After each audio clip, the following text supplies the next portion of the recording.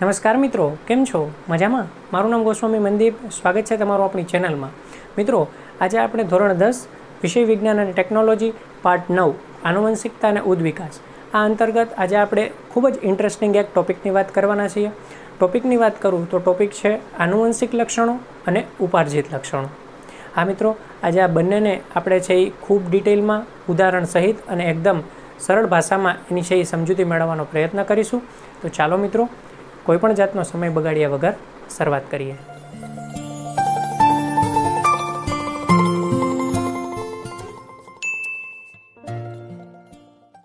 તો મિત્રો, અહીંયા તમે બોર્ડ ઉપર જોઈ શકો છો, એક બાજુ આપણે આનુવંશિક લક્ષણોની વાત કરશું અને એક બાજુ ઉપાર્જિત લક્ષણોની વાત કરશું. પહેલાં આપણે આનુવંશિક લક્ષણો જોઈએ. મિત્રો, આ અગાઉનો આપણે એક વીડિયો બનાવ્યો જ છે, જેમાં તમને ખ્યાલ હશે, આપણે આનુવંશિકતા અને ભિન્નતા વિશે વાત કરી હતી. તો આનુવંશિકતાનો જો તમને આછેરી એક માહિતી હોય, તો તમને ખ્યાલ આવી જાય કે આનુવંશિકતા શું હતું? તો કે વારસાગત સ્વરૂપે લક્ષણોનું વહન, એટલે કે એક પેઢીમાંથી અથવા તો પિતૃ પેઢીમાંથી લક્ષણોનું વહન એના સંતતિમાં થાય. એને શું કહેવાય? આનુવંશિકતા કહેવાય. તો આનુવંશિક લક્ષણોની અંદર હવે આપણે વાત કરીએ. આનુવંશિક લક્ષણ કેને કહેવાય? મિત્રો, આના જે કીવર્ડ છે ને એ તમે પકડજો. અહીંયા છે એનો કીવર્ડ છે ડીએનએમાં ફેરફાર. શું કીવર્ડ છે? ડીએનએમાં ફેરફાર. મિત્રો, આનુવંશિક લક્ષણોની વ્યાખ્યા શું છે? તો કે ડીએનએમાં ફેરફારને કારણે જે લક્ષણો ઉદ્ભવે અથવા જે લક્ષણો અસ્તિત્વમાં આવે, એને કહેવાય આનુવંશિક લક્ષણો. ખ્યાલ આવ્યું? બરાબર? જે લક્ષણો ડીએનએમાં ફેરફારને કારણે અસ્તિત્વમાં આવે. તેને આનુવંશિક લક્ષણો કહે છે. આ એની વ્યાખ્યા થઈ ગઈ. મિત્રો, આપણે કેટલું યાદ રાખવાનું છે? ડીએનએમાં થતો ફેરફાર. ડીએનએમાં જે ફેરફાર થાય એને કારણે જે લક્ષણો અસ્તિત્વમાં આવે, એને આનુવંશિક લક્ષણો કહેવાય. હવે બીજામાં આપણે શું યાદ રાખવાનું છે? બીજા મુદ્દામાં કે એનું વહન કેવી રીતે થાય? આ જે આનુવંશિક લક્ષણો છે એનું વહન કેવી રીતે થાય? બરાબર? તો પહેલાંમાં આપણે ડીએનએની વાત કરી હતી. હવે બીજા મુદ્દામાં આપણે જનીનની વાત કરવાની છે. કેની વાત કરવાની? જનીનની બીજા મુદ્દામાં. બરાબર? તો એનું વહન કેવી રીતે થાય આનુવંશિક લક્ષણોનું? તો કે પિતાના જનીનો અને માતાના જનીનો એકબીજા સાથે અર્ધીકરણ પ્રક્રિયાથી જોડાય.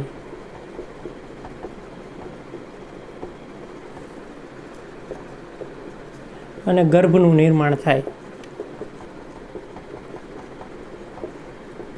અને તેમાંથી બાળકનો જન્મ થાય. આ રીતે આ જે આનુવંશિક લક્ષણો છે, એનું પેઢી દર પેઢી વહન થાય. મિત્રો, બે જ વસ્તુ અહીં ખાલી આપણે યાદ રાખવાની છે. પહેલાંમાં શું તો કે ડીએનએમાં ફેરફાર.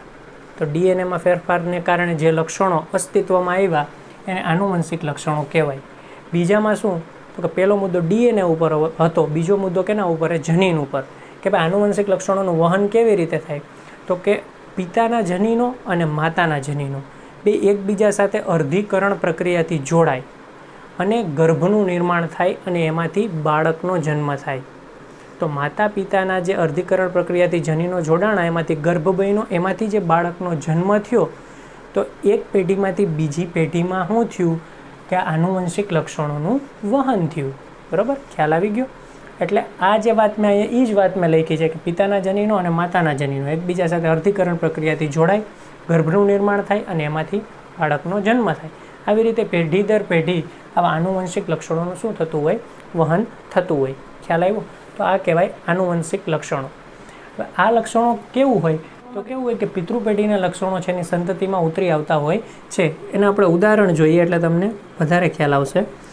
તો કે કે કનિનિકા નો રંગ.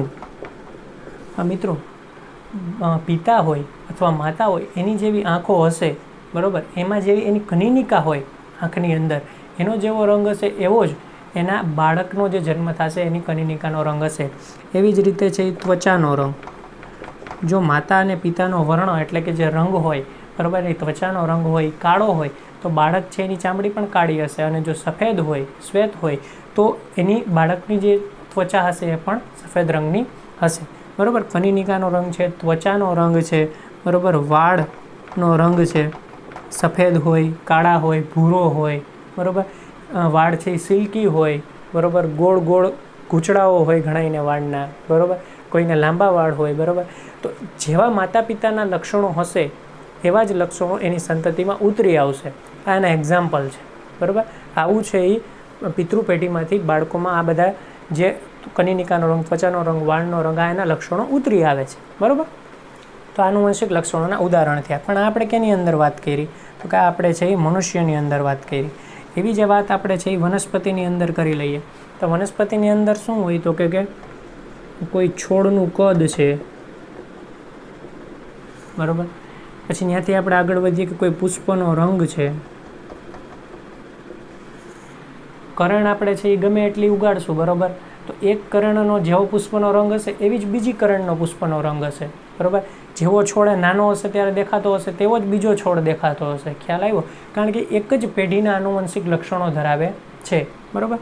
છોડનું કદ છે, પુષ્પનો રંગ છે, અથવા તો તમે હજી આપણે આગળ વધીએ તો તો કોઈ એક બીજ છે, એનો આકાર છે. બરાબર? તમે કોઈ પણ બીજ લઈ લ્યો, બરાબર? ચીકુનું બીજ આપણે ઉગાડીએ છીએ ચીકુડી. તો ચીકુનું બીજ હશે તો દરેક ચીકુના બીજનો આકાર સરખો હશે. બરાબર? તો બીજનો આકાર પુષ્પનો રંગ, છોડનું કદ, એક જ પેઢીના લક્ષણો હશે એટલે એમાં સમાનતા જોવા મળશે. ખ્યાલ આવ્યો તમને? તો અહીંયા આપણે મનુષ્યના ઉદાહરણ જોયા ને અહીંયા આપણે વનસ્પતિના ઉદાહરણ જોઈએ. કેટલી વસ્તુ યાદ રાખવાની? મેં તમને વાત કરી, પહેલા મુદ્દાની અંદર શું? તો કે ડીએનએમાં થતા ફેરફારને કારણે જે લક્ષણો ઉદ્ભવે છે એને આનુવંશિક લક્ષણો કહેવામાં આવે છે.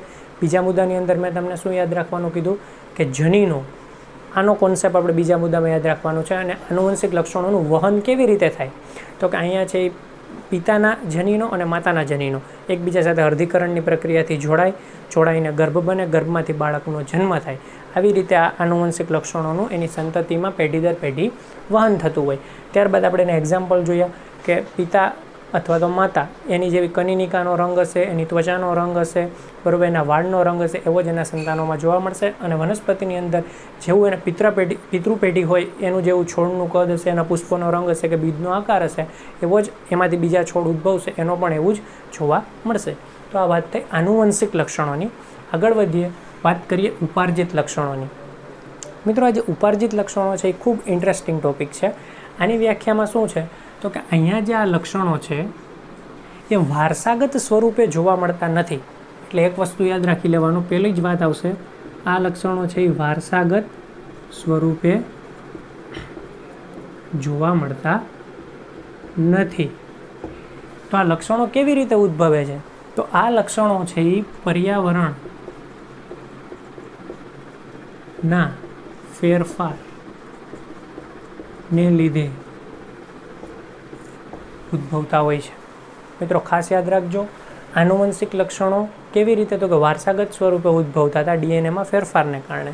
જ્યારે ઉપાર્જિત લક્ષણો છે એ વારસાગત સ્વરૂપે ઉદ્ભવતા નથી, એ પર્યાવરણમાં થતી ફેરફારને લીધે છે, પર્યાવરણમાં થતા ફેરફારને લીધે છે એ ઉદ્ભવે છે.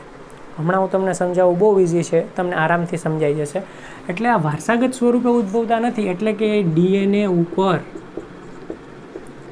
આધાર રાખતા નથી. બરાબર? વારસાગત સ્વરૂપે ઉદ્ભવતા નથી એટલે એ પિતૃ પેઢીમાંથી સંતતિમાં એના લક્ષણોનું વહન થતું નથી. ખ્યાલ આવ્યો? તો ઉપાર્જિત લક્ષણોની અંદર આપણે આગળ વધીએ તો પર્યાવરણમાં ફેરફારને લીધે ઉદ્ભવે છે. હવે આના છે હું તમને ઉદાહરણની વાત કરું. દાખલા તરીકે કોઈ પિતા છે, એની પાસે કોઈ અનુભવ હશે. દાખલા તરીકે કોઈ એક પિતા છે એ જબરજસ્ત રીતે છે એ શૂટિંગ કરી શકે છે બંદૂકથી, બરાબર? હવામાં ઉડતા પક્ષીઓને હેઠા પાડી દે છે. એટલું જબરજસ્ત જબરજસ્ત છે એ ગન બંદૂકને એ ચલાવી શકે છે, બરાબર?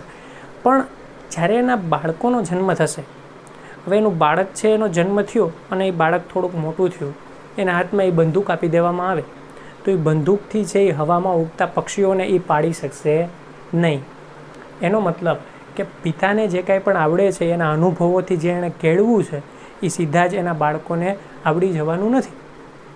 શા માટે? કારણ કે પિતાએ છે ઘણી બધી મહેનત કરેલી છે, ઘણો બધો એની પાછળ ભોગ દીધેલો છે, ઘણી બધી એની પાછળ એણે પ્રેક્ટિસ કરેલી છે અને આ ગુણ છે એણે ડેવલપ કર્યા છે, પર્યાવરણમાંથી ઘણું બધું એણે મેળવ્યું છે, ઘણું બધું એણે શીખવું છે. પોતાની આજુબાજુની દુનિયામાંથી ઘણી બધી ટ્રેનિંગ લીધેલી છે, ઘણી બધી ઇન્સ્ટિટ્યૂટની મુલાકાતો લીધેલી છે. ઘણી મહેનતથી ટૂંકમાં આ ગુણ છે એ ડેવલપ કર્યો છે, એ સીધો એના બાળકમાં આવી જાય નહીં. બરાબર? એટલે જે પિતૃ પેઢીના અનુભવો છે એ એની સંતતિમાં સીધા જ ઉતરી આવે નહીં. ખ્યાલ આવ્યો તમને? બીજી ત્યાંથી આપણે આગળ એક ઉદાહરણની વાત કરીએ. તો કે તરવાની ક્રિયા. કોઈ પણ બાળક જ્યારે જન્મે છે, બરાબર, અને થોડું મોટું થાય અને આપણે એને સીધું પાણીમાં નાખી દઈએ, તો શું એ તરવા માંડશે? નહીં તરવા માંડે. માની લો કે એના પિતા ખૂબ સારું તરે છે, બરાબર, અને સ્વિમિંગમાં એના પિતાને ગોલ્ડ મેડલ મળેલો છે. છતાં પણ એનું બાળક છે, એ મોટું થાય ને સીધું એને પાણીમાં નાખીએ તો એ તરી શકશે નહીં. કારણ કે એના પિતાએ વસ્તુ પોતે કેળવેલી છે, શીખેલી છે. બરાબર? એટલે એ પર્યાવરણીય ફેરફારને કારણે ઉદ્ભવે છે. બાળક છે, એ હજી સીધે સીધો એ વસ્તુ એ પોતે છે એ શીખશે, એના છે એ ગુણ એ કેળવશે, ત્યારે એને તરતા આવડશે. સીધે સીધું એના પિતાને આવડતું હોય તો બાળકને આવડશે નહીં, એટલે કે આ ગુણ છે એ વારસાગત, આ લક્ષણ છે એ વારસાગત ઉતરી આવતા નથી. એને ઉપાર્જિત લક્ષણો કહેવામાં આવે છે. બીજું ઉદાહરણ હું તમને કહું કે ચામડી પર લાગેલા ઘાનું નિશાન. હવે મિત્રો, કોઈ એક પિતા છે, બરાબર? એ રસ્તામાં જાય છે અને એનું એક્સિડન્ટ થાય છે અને માથામાં છે એને પાંત્રીસ ટાંકા આવે છે. આ ભાગમાં પાંત્રીસ ટાંકા આવે છે. તો હવે એના બાળકનો જ્યારે જન્મ થશે, તો એના કપાળ ઉપર માથામાં પાંત્રીસ ટકા કે એ ઈજાનું નિશાન જોવા મળશે નહીં. કારણ કે ઉપાર્જિત લક્ષણ છે એ વારસાગત સ્વરૂપે જોવા મળે નહીં. કારણ કે પિતામાં આ વસ્તુ કેવી રીતે થઈ? તો કે એ પર્યાવરણીય ફેરફારને કારણે થઈ. આ જ વસ્તુ એના બાળકમાં જોવા મળશે નહીં, એટલે કે વારસાગત સ્વરૂપે આ લક્ષણોનું વહન થતું નથી. પછી આપણે વાત કરીએ અંગ્રેજી કે અન્ય ભાષા બોલતા શીખવી. હવે કોઈ માતા પિતા છે એ અંગ્રેજી પોતે છે એ ગુજરાતી, ગુજરાતની અંદર એણે જન્મ લીધો છે. હવે એ ફ્રેન્ચ ભાષા કે અંગ્રેજી ભાષા એ કોર્સ કરે છે. જુદી જુદી જગ્યાએ મુલાકાત લઈને આ ભાષા છે એ ડેવલપ કરી અને એકદમ વ્યવસ્થિત શીખી લે છે. પણ હવે જ્યારે એના બાળકનો જન્મ થશે, તો બાળકને આ ભાષા શીખવી પડશે. એના માતા પિતાને આવડતી હશે તો સીધી જે બાળક છે એ થોડો મોટો થઈને ફ્રેન્ચમાં બોલવા માંડશે નહીં. બરાબર? એટલા માટે આ જે લક્ષણો છે એ કેવા લક્ષણો છે? તો કે વારસાગત સ્વરૂપે માતા પિતામાંથી સંતતિમાં ઉતરી આવતા નથી. એ છે એ પર્યાવરણના ફેરફારને લીધે ડેવલપ થાય છે. હવે તમને આ ખ્યાલ આવી ગયો હશે. એવી રીતે છે એ ગરોળીની કપાયેલી પૂંછડી. હવે કોઈ એક ગરોળી છે, એ ફટાફટ જતી હોય અને દરવાજાની અંદર એની પૂંછડી આવી ગઈ અને પૂંછડી નીચે પડી ગઈ. તો એ હવે જ્યારે એના બચ્ચાને જન્મ આપશે, તો એ છે એ કપાયેલી પૂંછડીવાળું બચ્ચું જન્મ નહીં લે. કારણ કે પર્યાવરણમાં ફેરફારને લીધે એની પૂંછડી એક બારણામાં આવીને કપાઈ ગઈ. પણ એની સંતતિમાં આ ગુણ ઉતરી આવશે નહીં. ખ્યાલ આવે તમને? કારણ કે આ ઉપાર્જિત લક્ષણ છે. બરાબર? એટલા માટે ગરોળીની પૂંછડી એટલે કે એ જે લક્ષણ છે એની સંતતિમાં નહીં ઉતરી આવે, બરાબર? અને એ જે નવી ગરોળીનો જન્મ થશે, એ એકદમ વ્યવસ્થિત પૂંછડીવાળી જ હશે. ત્યાંથી આગળ વધીએ.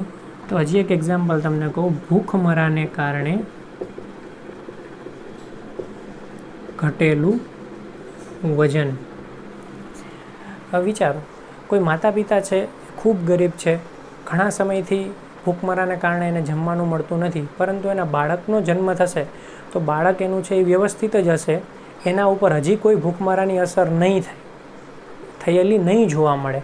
કારણ કે માતા પિતાએ જ અત્યાર સુધી ભૂખમરો સહન કરેલો છે, પર્યાવરણીય ફેરફાર એના ઉપર લાગુ પડ્યો છે, પણ એ વારસાગત સ્વરૂપે ઉતરી આવવાનો નથી. હવે જો બાળકનો જન્મ થઈ ગયો છે, બાળકને પણ ઘણા બધા દિવસો સુધી જમવાનું નહીં મળે, તો એનામાં ભૂખમરાની અસર જોવા મળશે. સીધી જ જન્મતા વેત આ ભૂખમરાની અસર એનામાં નહીં જોવા મળે, કારણ કે આ લક્ષણો છે એ વારસાગત સ્વરૂપે ઉતરી આવતા નથી. ખ્યાલ આવ્યો? એટલે આ લક્ષણોને ઉપાર્જિત લક્ષણો કહેવામાં આવે છે. બહુ ટૂંકમાં હું તમને બંનેના તફાવતની વાત કરું તો આનુવંશિક લક્ષણો એટલે એવા લક્ષણો કે એક પેઢીમાંથી બીજી પેઢીમાં, પિતૃ પેઢીમાંથી સંતતિમાં જે લક્ષણો ઉતરી આવે. એને આનુવંશિક લક્ષણ કહેવાય અને પિતૃ પેઢીમાંથી સંતતિમાં જે લક્ષણો ઉતરી આવતા નથી, જે લક્ષણો વારસાગત નથી, પણ પર્યાવરણીય ફેરફારને કારણે જે ડેવલપ થાય છે એને ઉપાર્જિત લક્ષણો કહેવાય. આ લક્ષણોના ઉદાહરણ જો એટલે ખ્યાલ આવશે કનિનિકારો રંગ, ત્વચાનો રંગ, વાળનો રંગ જેવો માતા પિતાનો હશે, એવો બાળકોમાં જોવા મળશે. લક્ષણો વારસાગત છે. આ લક્ષણો વારસાગત નથી, પર્યાવરણીય ફેરફારને કારણે ઉદ્ભવે છે. બરોબર? એના ઉદાહરણની વાત કરી લઉં તો કે ભાઈ તરવાની ક્રિયા. તો કે માતા પિતા ગમે એવું સારું તરી શકતા હશે, તો એનો બાળક છે, એનો જન્મ થશે, થોડું મોટું થાય, તો એ સીધે સીધું છે એ પાણીમાં તરી શકશે નહીં. કારણ કે માતા પિતા એ છે એ પોતે અનુભવોથી ઘણી મહેનતથી આ વસ્તુ છે એ પર્યાવરણીય ફેરફારને કારણે એનામાં છે એ વિકાસ પામેલી છે. એટલે એ ગુણ માતા પિતામાં હશે તો સીધા જ એના બાળકમાં વારસાગત સ્વરૂપે ઉતરી આવશે નહીં. એટલે બાળક છે એ સીધું છે એ તરવાની ક્રિયા કરી શકશે નહીં. એટલે હવે તમને ખ્યાલ આવ્યો કે આ લક્ષણો વારસાગત ઉતરી આવતા નથી, પણ પર્યાવરણીય ફેરફારને કારણે ઉદ્ભવે છે. આવી જ રીતે માતા પિતાના શરીર પર કોઈ ઘા લાગેલો હોય કે માતા પિતા ગમે એવી અલગ અલગ ભાષાઓ જાણતા હોય, તો બાળકમાં લક્ષણો સીધે સીધા જન્મતા વેત જ એનામાં ઉતરી આવશે નહીં. બાળકને પણ એ વસ્તુ શીખવી પડશે, ત્યારે જ એનામાં એ વસ્તુ આવશે, ત્યારે જ એ ગુણ એનામાં ડેવલપ થશે. તો આ વાત હતી આનુવંશિક લક્ષણોની અને ઉપાર્જિત લક્ષણોની. આશા છે તમને હું સારામાં સારી રીતે સમજાવી શક્યો હશું અને તમને આ કોન્સેપ્ટ છે એ વ્યવસ્થિત ક્લિયર થઈ ગયા હશે. બરાબર? તો મિત્રો, વીડિયો પસંદ આવ્યો હોય તો જરૂરથી લાઇક કરી દેજો. હજુ સુધી ચેનલ સબસ્ક્રાઇબ ન કરી હોય તો જરૂરથી સબસ્ક્રાઇબ કરી દેજો, જેથી કરીને આવા અગત્યના એજ્યુકેશનલ વીડિયો તમારા સુધી પહોંચતા રહે. બસ મિત્રો, આજ માટે આટલું જ. ફરીથી મળીશું નવા વીડિયો સાથે. ત્યાં સુધી મને આપશો રજા. આવજો.